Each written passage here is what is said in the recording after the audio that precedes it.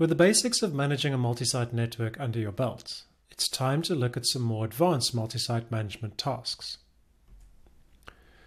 Let's dive into the different possible site statuses, what happens when you delete a site, how to export a single site from a multi-site network to its own install, and how to convert a multi-site network install back to a single site install.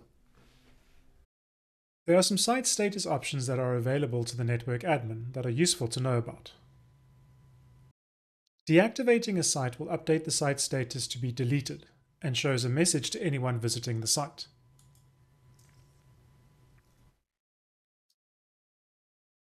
Additionally, there is a deactivate blog action hook that is fired when a site is deactivated, and an activate blog action hook that is fired when a site is activated that can be used to run additional functionality when a site is activated or deactivated. Archiving a site will update the site status to archived and show an archive message to anyone visiting the site URL. But no additional action hooks are fired. Finally, marking a site as spam will update the site status to spam and show the same message as archiving, but again, no additional hooks are fired.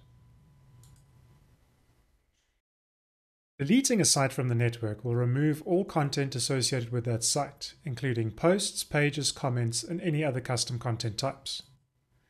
It also removes any tables in the database that were used to house the site's content. Unlike when you trash a post or page, once you delete a site, you cannot undo this action. Under certain circumstances, you might want to extract one of the subsites to its own single-site WordPress install. This is possible, but requires some manual steps. There are a few ways to do this. We'll just cover one possibility. First, in the network admin, switch to the subsites dashboard. Then, browse to the Tools export page. Here, you can use the WordPress export tool to export the content to the WordPress extended RSS or WXR format.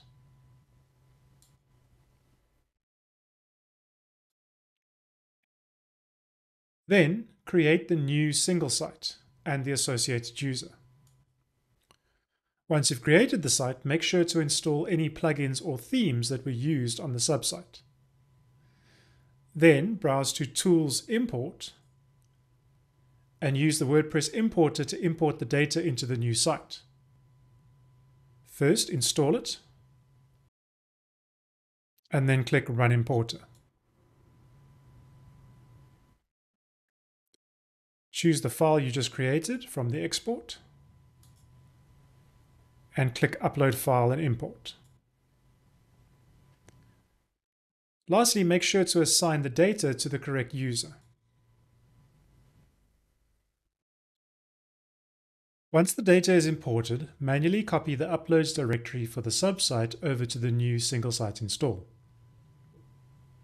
You will find the subsite uploads directory in the WP Content Uploads Sites directory of the multi-site install in a folder with the same name as the subsite ID.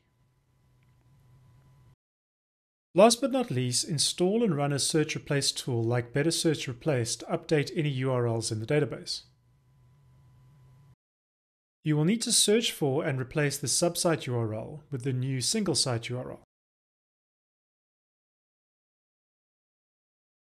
If you were pointing a top-level domain to the subsite, this last step might not be necessary. Finally, make sure to test everything out and make sure it's working as expected.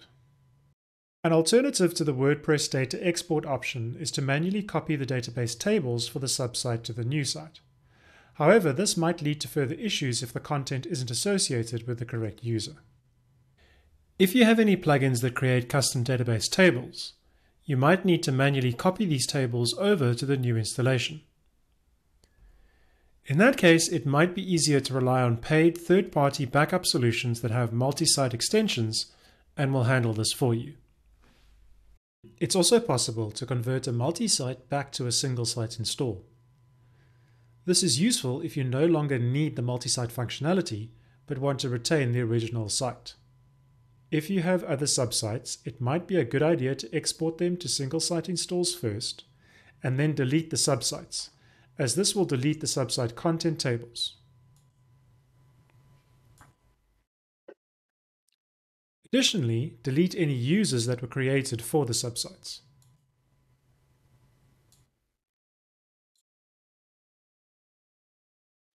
To revert back to a single site, you first need to remove all the multi-site related constants in the WP config file. Once you do this and refresh your dashboard, it will revert back to a single site install. You might need to log in again. If you see this message, it's because you're trying to access an admin URL for the network admin. In that case, simply change the URL to the regular WP admin path.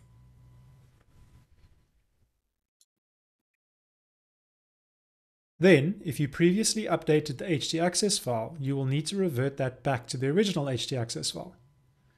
You can do this by resetting the permalinks to whatever you want them to be.